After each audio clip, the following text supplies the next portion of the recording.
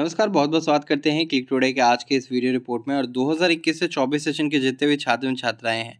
वो सभी जो है अपनी परीक्षा के सेंटर को लेकर के इंतज़ार कर रहे हैं। तो जैसा कि आज के सुबह के रिपोर्ट में मैंने बताया कि आपका जो एग्जामिनेशन सेंटर लिस्ट है, वो एक से दो दिनों में जारी किया जा सकता है। और एडमिट कार्ड जो है 25 तारीख के बाद, यानी कि कल के बाद से आप सभी को आपके कॉलेज में दिया जाएगा। एडमिट कार्ड लेने के लिए आप सभी को अपना जो है पार्ट टू का जो एडमिशन जो चलान कटा था, वो लेके जाना होगा। साथ ही साथ रजिस्ट्रेशन स्लिप लेकर के जाना होगा, जिससे कि आप सभी का एडमिट कार्ड आप सभी को दिया जा सके।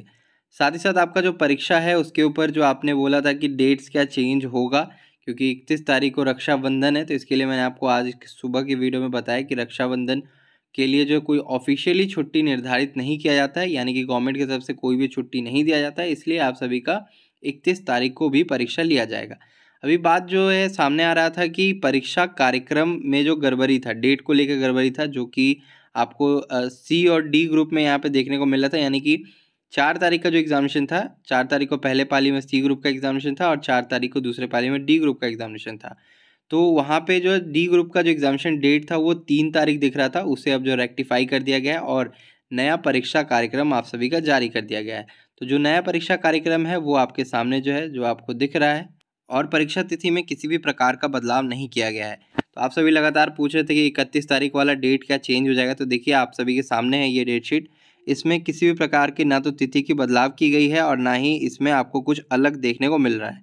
जो पहले परीक्षा कार्यक्रम था, उसमें बस तीन तारीख जो छप गया था डी ग्रुप में उससे रेक्टिफाई करके अभी जो है चार तारीख कर दिया गया है।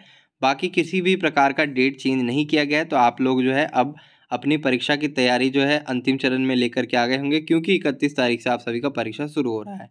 और आप सभी अभी तक के अपने सब्जेक्ट का क्वेश्चन बैंक नहीं देखे हैं तो आप जो अपने सब्जेक्ट का क्वेश्चन बैंक देखिए, हमारे वेबसाइट के ऊपर भी जो क्वेश्चन बैंक अवेलेबल है, जो कि पीडीएफ फॉर्मेट में अवेलेबल है, पिछले पाँच साल का क्वेश्चन बैंक आप जो है देख जाइए, यानी कि जो आप क्वेश्चन बैंक परचेस करेंगे, उसमें पिछले पाँच साल का क्वेश्चन रहेगा, और उससे जो है आपको तैयारी करके जाना है। तैयारी कैसे करना है? तो जो क्वेश्चंस दिए गए हैं तो ये देखिए कि कौन सा क्वेश्चन बार बार रिपीट किया गया है।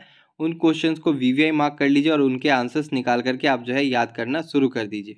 जिससे कि आप सभी का एग्जामिनेशन बेहतर जा सके और इसके अलावा अगर आपके मन में किसी भी प्रकार का सवाल या सुझाव है तो नीचे कमेंट करके पूछ सकते हैं। और 31 तारीख से परीक्षाएँ शुरू हो रही हैं और आगे जो है आपका कोई भी परीक्षा कार्यक्रम में बदलाव नहीं किया जा रहा है। तो आप सभी का परीक्षा का आयोजन जो कि 31 अगस्त से शुरू होगा और 16 सितंबर तक चलेगा। तो आप सभी अपने सब्जेक्ट का क्वेश्चन बैंक देख जाइए और हमारे क्लिक टोडे यूट्यूब चैनल को जो सब्सक्राइब करके रख लीजिए। जितना भी अपडेट होगा हमारे चैनल पे आपको टाइम टू टाइम दिया जाता रहेगा। इसलिए हमारे साथ बने रहिए आगे जितना भी अपडेट यूनिवर्सिटी से आएगा, आप सभी को दिया जाएगा। धन्यवाद।